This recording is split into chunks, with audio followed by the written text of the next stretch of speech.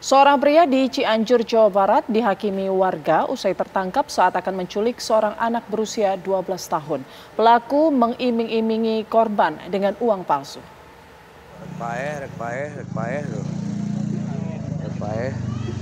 Beginilah kondisi diduga pelaku penculik anak usai menjadi bulan-bulanan warga di kampung Cisere, Desa Jayagiri, Kecamatan Sindang Barang, Cianjur, Jawa Barat. Selain menghakimi pelaku, warga juga melampiaskan kemarahannya dengan cara merusak mobil yang digunakan pelaku saat melarikan diri dari kejaran warga. Menurut polisi, pelaku masuk ke dapur rumah warga dan merayu seorang anak perempuan untuk diajak pergi dengan diiming-imingi uang 50 ribu. Merasa tidak kenal, korban menangis dan terdengar orang tuanya. Saat dihampiri, didapati pelaku berada di samping korban. Pelaku langsung melarikan diri saat orang tua korban menanyakan identitasnya. Orang tua korban kemudian mengejar pelaku dan meminta pertolongan warga. Pelaku akhirnya ditangkap warga.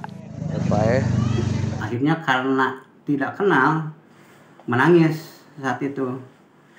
Terdengarlah oleh bapaknya yaitu Pak Asep Supriyatna. Pak Asep Supriyatno langsung mendatangi eh, yang bersangkutan kemudian menanyakan Eh, kedatangannya, maksud tujuannya dan sebagainya.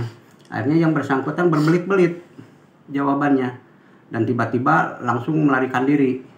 Dan spontan Pak Asep mengejarnya sambil berteriak culik culik eh, sambil mengejar terdengar oleh warga. Akhirnya warga keluar dan menangkap pelaku. Sehingga pelaku pada saat itu langsung jadi bulan-bulanan warga dihakimi warga termasuk kendaraan yang dibawa oleh pelaku saat digeledah di mobil pelaku didapati uang palsu pecahan 50 ribu sebanyak 53 lembar. Pelaku masih berada di puskesmas Sindang Barang untuk menjalani perawatan medis karena mengalami luka yang serius. Hmm? Dari Cianjur, Jawa Barat, Hairon Syah, TV One, mengabarkan.